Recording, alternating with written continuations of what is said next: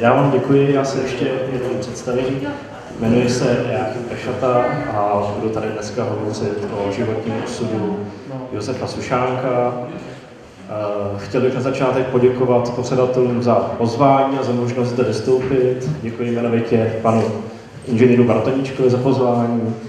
I když proti plán vystoupí o hodinku později, trošku úsměvé, úsměvného důvodu, my jsme se eh, prostě nemohli dostat do budovy, za žádnou cenu bylo zavčeno. Tak, eh, přejdu k prezentaci. Eh, budu tedy hovořit o Josefu Sušákovi, eh, což byl slánský hasič, který byl během druhé světové války zapojen v odbojové organizaci.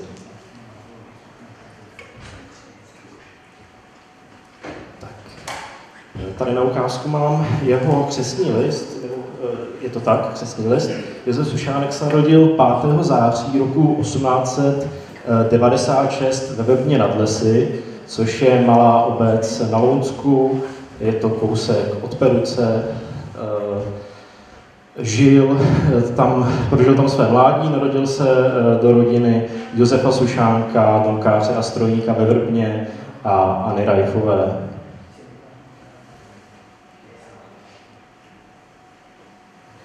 Tady je detail ještě toho křesního listu. Jak jsem již říkal, tak své dětství a mládí strávil ve Verbně. Eh, podrobnosti jeho života z té doby nejsou. Mám pouze, pouze zachované tyto fotografie, které jsou z jeho mládí. Tedy. Josef Sušánek eh, prožil v podstatě většinu svého dospělého života ve Slaném, eh, kam se dostal za svojí ženou, při, přiženil se do Slaného. On si eh, vzal Marii Procházkovou, která bydlela ve Slaném, měli spolu dvě děti. Ta svatba proběhla roku 1919. A zde je zachovaný oddací list z té doby. Svatba proběhla v děkanském kostele ve Slaném a svědci byli přátelé Josefa Sušánka z Vrbna nad Lesy, byl to Bohuslav Sochor a Antonín Kozár.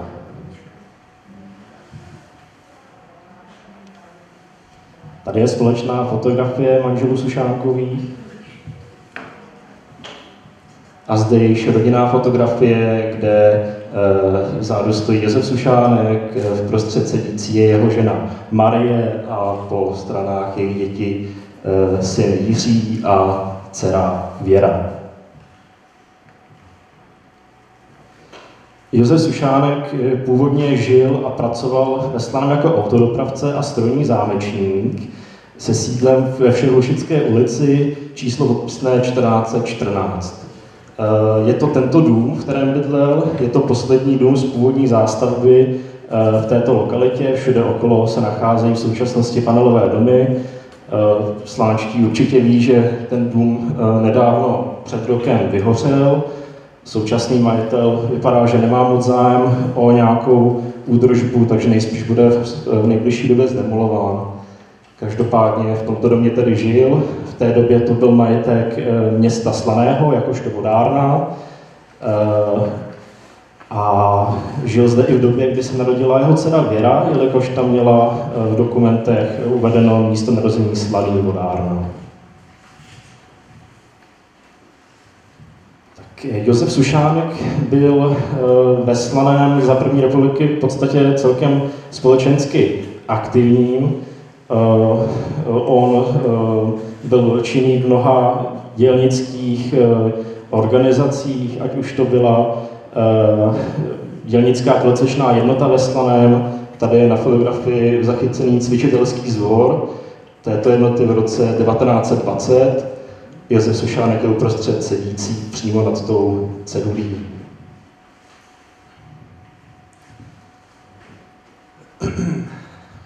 On mimo toho, že byl, eh, že byl aktivní v této, v této organizaci, tak pracoval dokonce i ve Federaci dělnických tělocvičných jednot a jednotě proletářské tělovýchovy jako náčelník jednoty a později krajský náčelník. Dokonce eh, jsem zjistil nedávno, že byl i členem tedy komunistické strany Československa, do které vstoupil roku 1921. A já už se teď nyní pře, přesunu k tomu období jeho života, o kterém budu hlavně hovořit. On byl členem slánského hasičského sboru, konkrétně tam působil jako velitel. Tady je společná fotografie slánských hasičů, Josef Sušárek je tady uprostřed na fotografii zachycený, je to fotografie někdy ze 40. let minulého století. Já uvedu, jak se k těm hasičům e, dostal. On byl původně aktivním členem sboru, kde působil jako ochranný člen a téhož roku se při aktivní pomoci při požáru ve Slaném e, rozhodl vstoupit na základě návrhu tehdejšího velitele bratra Šámala, vstoupit do činných českého hasičstva a stalo se tak roku 1931 tedy. A on na to tu důležitou etapu svého života vzpomínal zpětně eh, v tomto památníku, který vydali slánští hasiči v roce 1940, v době, kdy otevírali novou budovu hasičského domu, eh, tak při té přítosti vydali v omezeném množství tuto publikaci. Eh, ona měla snad pouze 100 vydání.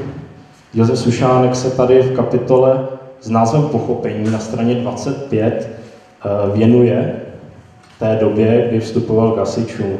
On tady uvedl, v zimě roku 1931 vypukl oheň v domku pana Štulíka pod Slánskou horou. Když dozvěděv se o požáru, přiběhl jsem do hasičské zbrojnice. Zjistil jsem, že zde není šoféra, který by dopravil motorovou stříkačku a členy sboru na místo. Nabídl jsem tehdejšímu veliteli sboru bratru Šámalovi své služby a v několika minutách bojovali hasiči proti dravému živlu požáru, který se s darem zdolali. Po ohašení požáru rozmlouval jsem s bratrem Šávalem, který mě během debaty navrhl, nechtěli by vstoupit do činných řad českého hasičstva. Uvědomit si a rozváživ, kolik dobrého pro lidstvo hasičstvo vykonává, ne, nezaváhal jsem a uposlechnul pokyn bratra Šámala. Přihlásil jsem se do činného členstva hasičského sboru. Bratrským prostředím a zájemem o práci a činnost ve sboru vžilo se mi hasičství v krátké době do krve. A než se rok s rokem sešel, obdržel jsem již funkci činovníka v župě, ve které jsem působil až do loňského roku, když jsem byl zvolen velitelem prvního obvodu okresní hasičské jednoty Slánské čtyřicítky. Jako dlouholetý strojmistr sboru stěžoval jsem si často na nedostatek místa v hasičské zbrojnici v ulici BB Třebíského a dnes, kdy se můj sen stal skutečností a my máme krásný a moderně řešený vybavený vlastní hasičský dům, nepřeji si nic jiného, než aby i nejširší veřejnost našla konečně cestu k správnému pochopení hasičstva, jehož cílem a povinností je chránit životy a majetek bližního tak, tak to vzpomínal teda uh, na své působení v tom roce 1940. Tady je další fotografie, je to zachyceno při nějaké akci, kterou měli slánští hasiči na náměstí, je to fotografováno před starou budovou slánské radnice na Masarykově náměstí. Zde je vyfocen eh, Josef Sušánek eh, u svého domu ve Slaném na Skalkách v klasické uniformě. A zde je již zmiňovaný hasičský dům eh, v dnešní Lázeňské ulici, který byl toho roku 1940 slavnostně zprovozněn. Josef Sušánek se aktivně podílel na výstavbě té nové budovy a osobně tam odpracoval 1084 hodin, jak je opět uvedeno v této publikaci. Je zde tabulka, kterou později budu mít i v prezentaci. Každopádně on byl na pátém místě s nejvyšším počtem odpracovaných hodin, to pro, tak pro zajímavost. Zde originální kopie Eh, jeho legitimace Svazu českého hasičstva, je to protektorátní průkaz, který byl vydán roku 1942, tedy v době, kdy Sušánek již působil jako velitel obvodu. Toto je fotografie, která pochází opět z toho zmiňovaného památníku. Je tam vyfotografovaná část slánského sboru. Josef Sušánek je tam eh, v rohu nahoře Uprostřed je doktor Mirko Haken, to byla významná postava slánské, slá, slánská slaného za doby první republiky. Ještě o něm budu v souvislosti se Sošánkem určitě hovořit. Tady je ta zmiňovaná tabulka, kde si tedy slánští hasiči zapisovali opravdu eh, každou hodinu, jak kdo odpracoval. Je tam poznámka, že uvedeny jsou jen hodiny práce manuální, nikoliv ostatní činnosti.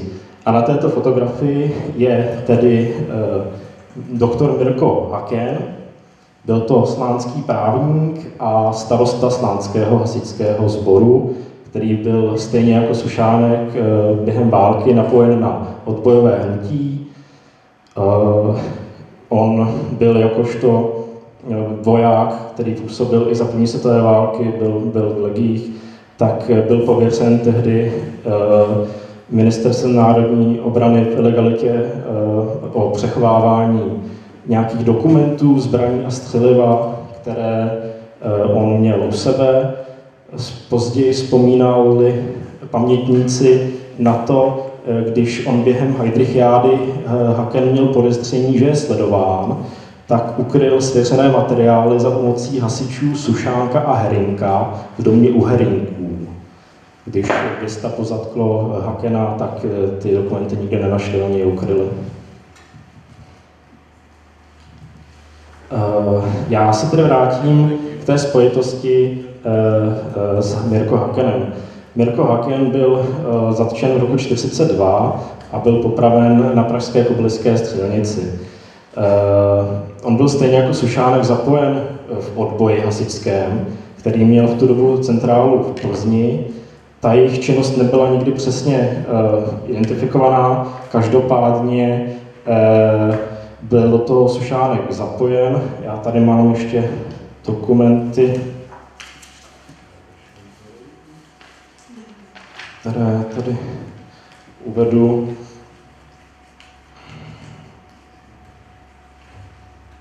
Tak, eh, Sušánek byl eh, gestapem začen dne 27. října roku 1944 pro ilegální činnost a eh, jsou, to, jsou zde autentické vzpomínky na tu dobu, které jsem získal od jeho vnuka Jiřího, jsou převyprávěné od jeho eh, Sušánkovy dcery Věry. Mám zde doslovně uvedeno, že když dědu přišlo gestapo zatknout domů do Lígrovy ulice, ptali se po dědovi, babička jim řekla, že je v práci v hasičském domě. Tam se ptali prvního hasiče, kterého potkali, eh, ten řekl, že neví, kde je. Než gestapáci dědu našli, tento hasič za dědou přiběhl a řekl mu, Josef je tady pro tebe gestapo, uteč. Děda mu odpověděl, ne, to by odnesla moje rodina a počkal, až ho gestapáci odvedou. To jméno hasiče, který dědu varoval a e, teď není známé. Každopádně Sušánek byl tedy podvečer dne vzniku samostatného československého státu roku 1944 zatčen a během několika málo dní byl internován do e, věznice gestapa v Malé pevnosti v Terezíně, jak je zde na fotografii.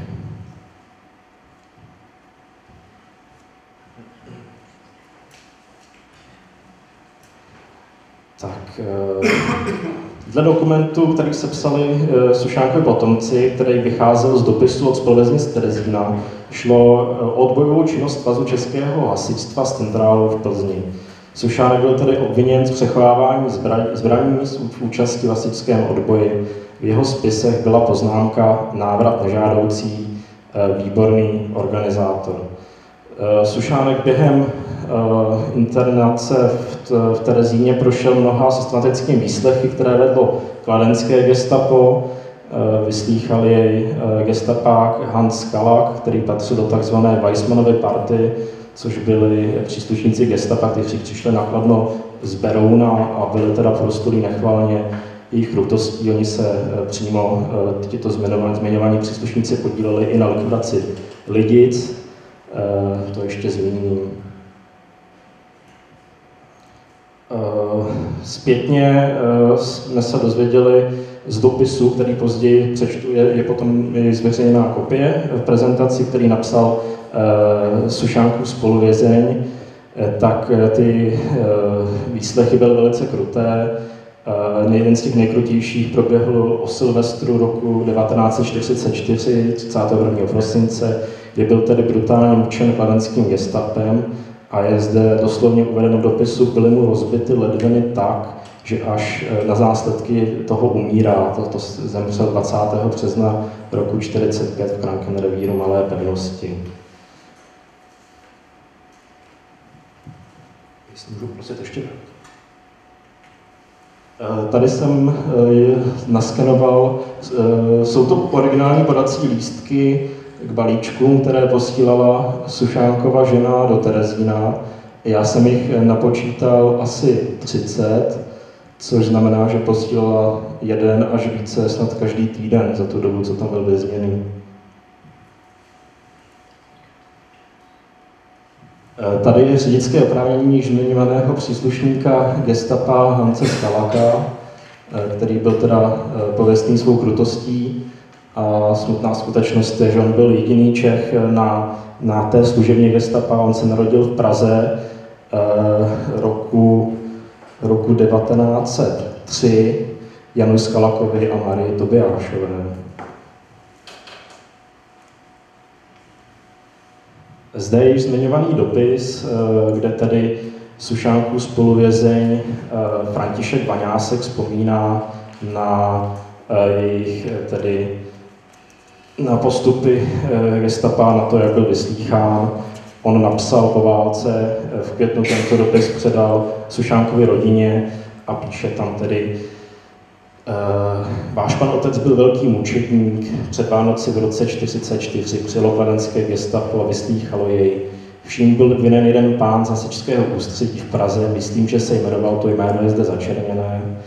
Udal na něj věci, které nebyly pravdivé a gestapáci ji mučili tak, že se nemohl hnout a musel být odnesen na lůžko do cely číslo 43, kde spal vedle mě.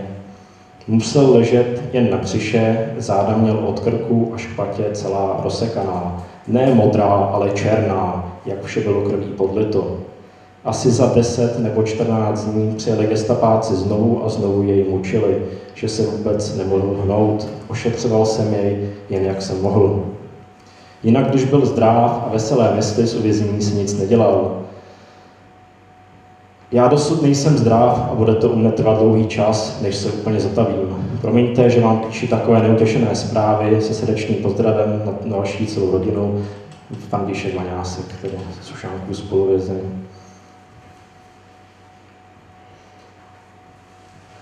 Já se ještě vrátím teda k té době, když byl eh, vězněný v Malé pevnosti. Eh, po válce eh, Sušánkovi příbuzné vyhledal další spoluvězeň z Terezína a řekl, že tam byl svědkem setkání Josefa Sušánka s hasičem, který, měl, který ho měl prozradit během výslechu. Ten se měl omlouvat za prozrazení slovy ve stylu promiň Josefe, ale to mučení bylo tak strašný a já si potřeboval od něj aspoň na chvíli odpočinout, proto jsem řekl tvé jméno, aby ta muka na chvíli přestala. Sušánek prý řekl s tím, že to takhle může dopadnout, jsme, když jsme do toho šli, museli počítat, neomlouvej se. Eh, ten hasičský odboj byl zakonspirován a organizován formou tzv. trojek, což znamená, že každý z odbojářů znal pouze další dva hasiče v odboji, aby případné prozrazení se omezilo na maximálně další dva. A po začení Sušánka již nikdo další z jejich odové, již nikdo další z jejich odové skupiny nebyl zatčen, protože Sušánek nepromluvil, nepozradil žádné další jméno. Společně se Sušánkem byl v té době na podzim roku 1944 zatčen islánský hasič, již zmiňovaný František Herring. Eh, tady eh, je naskenovaný umrtný list Terezína, který je teda vydaný zpětně až v září roku 1945 a je vydaný již eh, v té době, kdy tam fungoval internační tábor pro německé zajatce, pro Němce, eh, tedy 19. září, kde je uvedeno, eh, že zemřel 20. března roku 45 o 2. hodině, příčina umrtí uvedena jako neznámá. Další dokument je poválečný od Svazu osvobozených politických vězňů o pozůstalých pobytech nacismu ve Stalem, kde potvrzují, že Sušánek byl tedy zatčen gestapem a pro ilegální činnost vězněn a potvrzuje to jeho účast v hasičském odboji.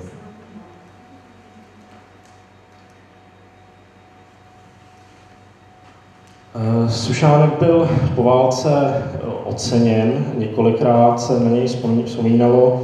Eh, ta první, mm, první vzpomínková akce, která se konala ve Slaném po válce, byla organizovaná hasičským sborem, přičemž oni zorganizovali smuteční akci, při které bylo na budově hasičského domu odhalena pamětní deska s jménem Josefa Sušánka, a Miroslava Hakena jakožto s oběťmi nacismu.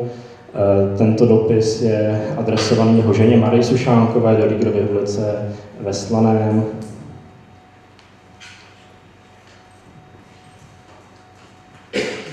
Tady na tom slajdu je originální pozvánka na tu akci.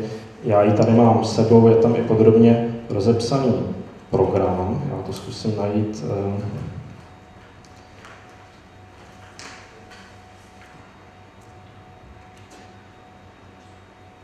Program tady byl, začínal v 8.30 hodin s razem před Sokolovnou, eh, následoval odchod od Sokolovny v útvar k Hasičskému domu, eh, kde následovaly eh, nějaké vzpomínkové akce, zahájení slavnosti starostou sboru, následovala slavnostní přehlídka hasičských sborů v Lázeňské ulici a odhalení desek a celá akce byla zakončena koncertem v zahradě na střelnici ve Slaném.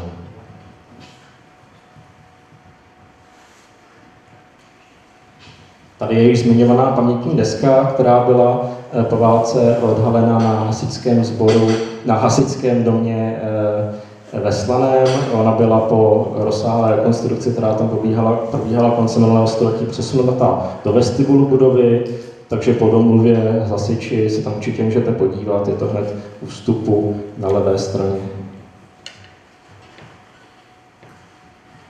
Kromě toho, že eh, na něj vzpomněli takto slánští hasiči, eh, byl Josef Sušánkovi prezidentem republiky Edvardem Benešem udělen Československý válečný kříž 1939, což bylo vyznamenání, které bylo zřízeno na památku boje za osvobození republiky Československé z nepřátelského obsazení a byl udělován s podmínkou prokázání vynikajícího a úspěšného činu eh, výkonného či velitelského, při němž byl vystaven nebezpečí života nebo život obětovali.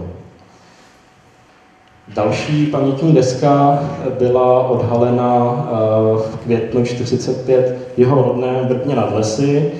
Ta deska je tam do dnešních dní, je na budově bývalé základní školy je věnována hrdinům, kteří byli oběti nacistického režimu z Vrbna nad Lesy. Tady jsem vybral na ukázku uh, zmínku o obětech z, z, z řad hasičů během druhé světové války. Sušánek je tam uvedený jako třetí ze zhora. Tato, tento, smutný, tato smutná tabulka byla otištěna v poválečném periodiku, poválečném vydání periodika Hasičské rozhledy. Eh, Josef Sušánek eh, je pohřben na Národním hřbitově v Terezíně. Jeho pomník eh, má číslo 264 a najdeme ho v prvním oddělení Terezínského hřbitova. Zde je již zmiňovaný dokument, který sepsali Sušánkovi potomci, z něhož jsem eh, základně vycházel při přípravě nebo při bádání o jeho životě. Oni ho sepsali eh, mnoho let, v podstatě po, po jeho umrtí, až během normalizace v lednu 75. Mně se nepodařilo zjistit, při jaké příležitosti eh, tento dokument sepisovali. Jsou tam vlastnoručně podepsáni jeho syn i dcera. A je tam poznámka, že dokument byl předán Jindřichu Škrtlantovi. Já když jsem si zjišťoval, o koho by mohlo jít, našel jsem eh, člověka se stejným jménem, který byl činný ve svazu protifašistických bojovníků a následně tedy v Československém svazu bojovníků za svobodu, jestli šlo přímo o něj, jestli šlo o nějakou snahu o zachování jeho odkazu, to jsem již nezjistil, ale nejspíš to tak, nejspíš to tak bylo. A to je z mé strany vše. Já doufám, že jsem, mám, že jsem dokázal vám popsat životní osud Josefa Sušánka, všechny originální eh, dokumenty, které byly prezentovány, mám tady u sebe, kdyby kohokoliv eh, něco zajímalo, akorát zapůjčím. Děkujeme za přinesení příspěvku. A někdo nějaký dotaz či, či podotknutí? Já se zeptám dvě věci, jestli můžu. Ta první je, je zaujala zmínka o tom skoku do komunistické strany tam byl až do 39. nebo Opravdu to, ty informace nemám. Já jsem v podstatě až do loňského podzimu nevěděl, že byl členem. Věděl jsem teda, že byl levicově orientovaný jako z důvodu toho, že pocházel z toho dělnického prostředí, ale eh, nevěděl jsem, že byl členem strany. To jsem poprvé tu informaci zjistil až v tom dokumentu, takže nevím. A ten druhý dotaz je, jestli eh, ty dokumenty jsou i třeba z té žádosti o to osvědčení podle 255 zákona, nebo jestli to jsou všechno jenom z archivu rodiny. Všechny ty dokumenty jsou z rodinného archivu. Tedy uh, dovolím na to otázku trošku ne odpovědět, ale dnes, dnes jistou naději. Eh, vzhledem k tomu, jak byla komunistická strana pečlivě sledována uh, prvou republiky správními orgány, tak nazveme, Eh, tak nelze vyloučit, že Sušáka jsem schopen někde najít v Národním archivu. Ale jako nemůžu to zaručit, protože samozřejmě oni potom se probrali v 50. letech, uh, ve 40. letech gestapáci a 50. letech STV z druhé strany, takže jako samozřejmě všechno se zachovalo, ale jako mohlo by tam jako něco mít. Jo. Já jenom poznámku k té komunistické straně. Já jsem někdy četl, že když byla komunistická strana založena v roce 1921, tak měla mít údajně asi 350 tisíc členů, asi se organizaci. Ale zase údajně, že po té budvalovské změně v roce 1929 velká většina těch členů komunistickou stranu opustila a těch členů tam bylo, bylo asi 29 tisíc, nebo já asi 30 tisíc, možná někde i 17 tisíc Čech, tak je možné, že eh, pan Sušánek, nebo Udvar Sušánek, po celou tu dobu první republiky člen komunistické strany už nebyl, že ti komunisté jako tam samozřejmě eh, vstoupili, po nějaké době zjistili, že to tam nebaví, že musí pak přídržky, a že to členství v té komunistické straně jim zase tak až nic nepřináší, kromě třeba problémy na pracovišti. Tam asi ne každý tam, kdo v roce 21 tam vydržel podzimu 3 Jenom jako eh, s tím samozřejmě nutný souhlasit, jo, protože eh, jednak ona byla jako natáhla k sobě lidi hodně ze sociální demokracie, a když se ta revoluce neblížila a začala se zlepšovat hospodářská situace první republiky, tak probí v komunistické straně, když to jde bez ní. Že? A druhou velkou ranou byla ta bolševizace v roce 1929, kdy si opustili ti někteří z dalších včetně poměrně značné intelektuální elity. Jo. Ale co jsem říkal Pavlovi, jako platí, eh, na mnohých 20. se jako dost hlídalo a ono bylo těch 30. ale samozřejmě otázka, jako co se nahlásilo nahoru a co se jako vědělo, co se zachovalo.